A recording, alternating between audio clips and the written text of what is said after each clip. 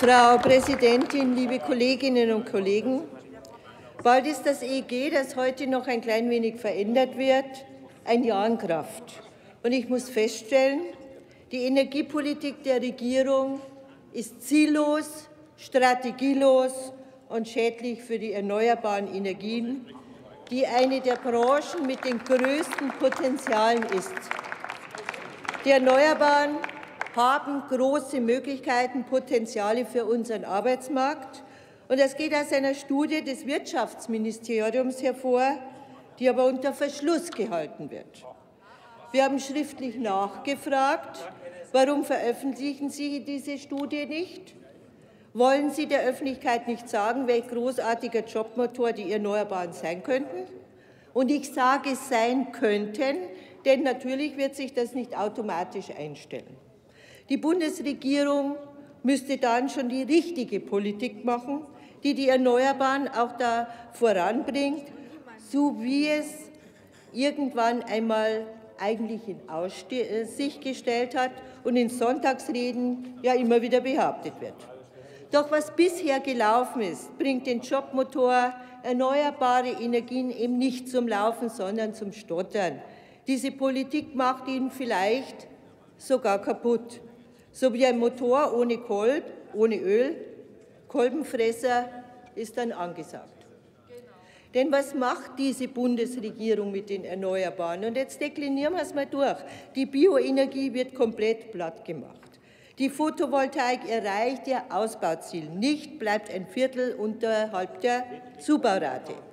Die PV-Ausschreibungen funktionieren nicht, weil sie mit durchschnittlich 9,17 Cent teurer sind als die Förderung bislang. Und natürlich ist auch die Bürgerenergie draußen geblieben. Und über KBK redet man ja sicher auch morgen. Die wollen Sie jetzt auch noch platt machen. Und, und was macht diese Bundesregierung mit den Industrierabatten?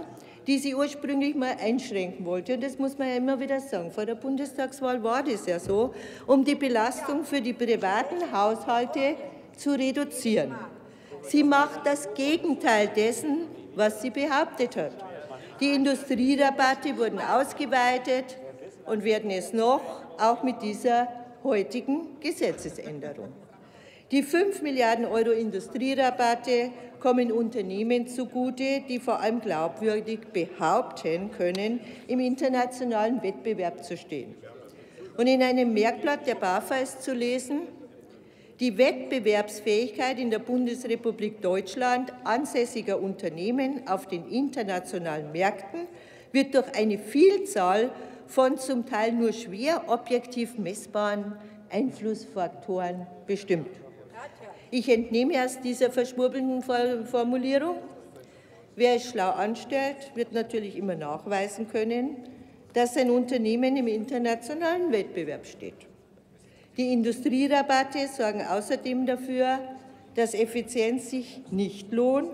Und das wird mir aus der Praxis berichtet, zum Beispiel aus einer Gießerei in Bayern. Und weil der Betrieb sonst äh, zu wenig verbrauchen würde, um als stromintensiv zu gelten, da nützt auch die Pflicht eines Umweltmanagementsystems nicht, sparen die eben keinen Strom mehr ein, weil sie sonst wesentlich mehr bezahlen würden. Und das ist auch bestätigt. Und ich sage Ihnen, hier wird Verschwendung belohnt.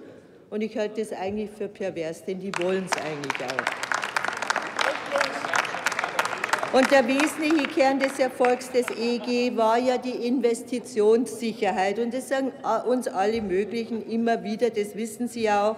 Und die Bundesregierung hat es geschafft, eine wachstumswillige und fähige Branche tief zu verunsichern und setzt damit die Tendenz der Vorgängerregierung fort. Und ich halte es einfach für traurig.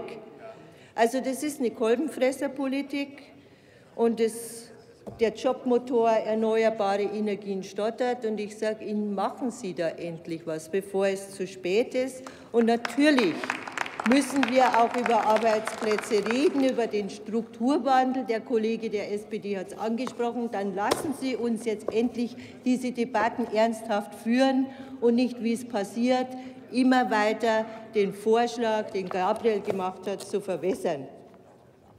Dankeschön. Nächster Redner ist Dr. Andreas Lenz, CDU-CSU-Fraktion.